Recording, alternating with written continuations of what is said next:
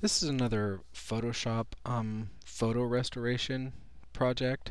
I received these two photographs. Um, they're some from, from some family members, the Faraday family, and the, what I thought was most interesting about them was the fact that as I started to restore them, and you know, I was looking at trying to figure out what this sign said, and I realized it said plowboy, and you know, I'm looking at this lady that's fairly serious looking, and you know, this kind of stuff, and I knew it was going to be you know, some difficult restoration. But then as I'm looking at this other picture, this lady, and thinking about the reflections in the window and what kind of stuff I see, I noticed over here on the side that this picture included a similar piece to this. It was like they took one and then maybe took another, and she hadn't moved yet. Um, so what I did was I tried to take these pieces and not only restore them, but then put them together as one picture um, and I'll show you kind of some of the problems I had doing this. So the first thing I had to do was get my color a little bit better and a little more balanced. And there's countless ways to do this but so um, and plus I have to do this in you know a matter of a couple minutes. So I don't have all the tips at my at my leisure here. But what I'm going to go is I'm going to do image mode. Actually I think image adjustments levels first Okay, so now you see that there's no black and that there's not much white. So what I'm going to do with this level is I'm going to drag this up so that I get a little bit more white and it's kind of right at the beginning of this mountain peak. Um, and then I'm going to drag the black in. Okay. And that's kind of what it would look like with that done. That's without. And if I click auto, you can see that sometimes the auto does some pretty amazing things with your pictures. And I'm going to go ahead and click OK. And over here, I'm going to do the same thing. Image, adjustments, levels, and you can see the shortcut to this is Control L. And I'm going to click Auto, and I can see that it also did a good job.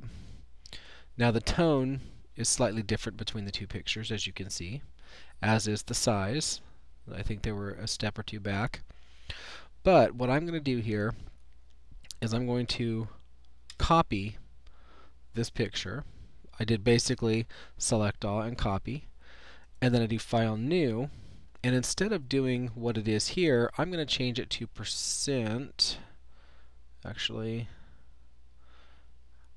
I think I'm just going to leave it on pixels, and I'm going to just double this. I'll say 5,000 500. Okay, now you'll see, let's see, this one I'm going to do, let's see what I should do, I'll just do 600. Okay, and I'm going to paste. Whoops. Okay, so what I meant to do, let me just do File New, and then do OK and paste and then do my canvas size to 200%.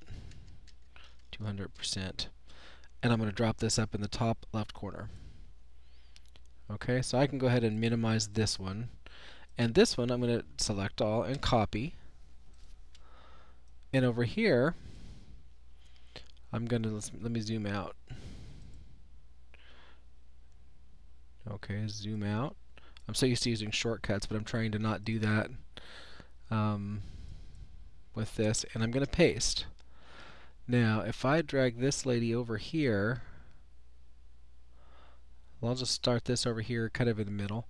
I'm going to drag this other one up to the top layer. And what I try to do is I'm actually going to drop my opacity so that it's a little bit transparent. And then I'm going to drag this over and you can see I'm going to have to free transform this and if I hold shift it'll keep the aspect ratio like that and I can move it around a little bit. Let's see I have to make it larger. Move it again.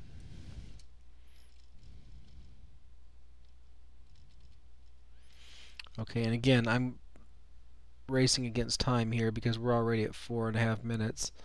Um, but if I get that about where I like it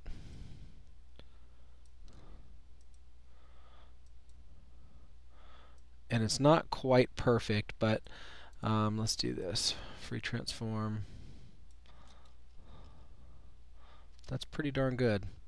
And so I'm going to do view, fit on screen, and then what I want to do is crop this so that I'm not working so much against the system resources. Alright, this the less stuff you have open, the quicker things will go. So I'm going to go image crop. And I'm actually going to go ahead and flatten these two layers. I'm going to go Control E on a PC, and then that will put those two on the same layer. And actually, I probably, if I was doing this, you know, more carefully, I would have adjusted these colors so that they would match a little bit better. What I would probably also do is grayscale, and then don't flatten. Okay, and you can see how that would be a little bit easier to work with and try to match things. Image adjustments, auto contrast, image adjustments, auto levels, and you know, play with it like that. Now you can see that you can make a picture out of this, but the problem you have is that this young man's shoes are not here. This little girl's shoes are not here. Um, the dog's feet aren't there. However, if you look over here, this little boy here has boots. Now, if you're feeling creative, you can take a boot um, from something like this and paste it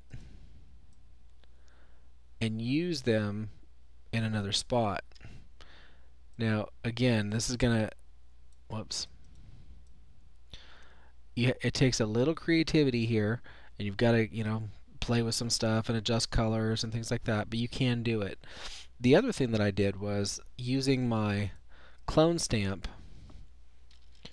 I kind of went along here and I was going to start right here about, I'm, I'm aligning my top of my circle here with the top of the stoop and alt click and then if I go down here and align it to the top of the stoop again, and then start click and paint, I can actually, I don't need her feet, but I can actually extend out the brick. And if I do it again, I can extend the brick out again. And you're going to have to do some adjusting. Um, Alright. And so that basically gives you a, a brief introduction. Basically, if, if I kept working on that and took out some of these other pieces and added some extra stuff up here with a window, you know, I can go Alt-click here and then paint a little bit more window up here. And you can fill in the blanks. Now, here's an example of what I have on my composite. And if you didn't really know any better, you'd look at these pictures and you know, you wouldn't really notice that his boots are the same as his boots, and that her little sh shoes are just the same two boots.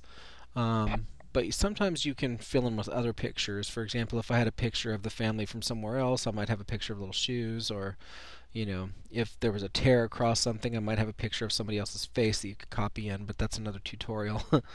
anyway, you can see that here the stoop that is actually, uh, you know, goes all the way across and you can see a little bit of a line that I probably should have fixed but these are the things that people won't really be looking for. They're going to be looking at people's faces and the buildings and things like that and they're not going to look for the little details. These little details are what help tie your picture together and if you really look carefully you'll see that she's standing in the mid-air. So I never quite finished that picture. Anyway um, I hope this was helpful for you and um, I hope you're enjoying these